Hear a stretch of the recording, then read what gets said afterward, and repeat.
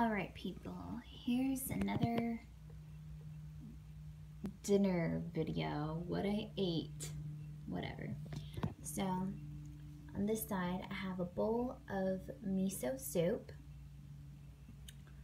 It's made with, ah, I can't even really remember, but it's a non-GMO light miso paste with some water that I heated up Actually, that's the water that I cooked my noodles and my vegetables in.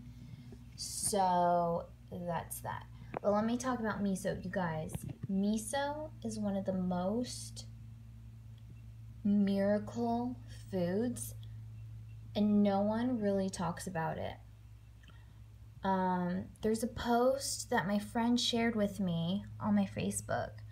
I can't remember off the top of my head every single one of the benefits, but one of the main ones, um, well, I'll just name a few, uh,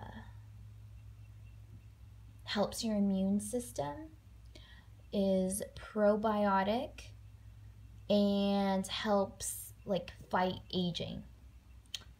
So I'm going to be drinking this every single day, which I'm trying to do. And then on this side, I have this organic whole wheat pasta with some cooked kale and some cooked broccoli. And then underneath it, you can't really see, I have um, the Tofurky, the like sausage version. Um, and then you can't really see this either, but I have some organic marinara sauce from Trader Joe's. And then that is goat cheese sprinkled on top. So that is my dinner and I'm just gonna have some water with it. So that's that. Macrobiotic AF.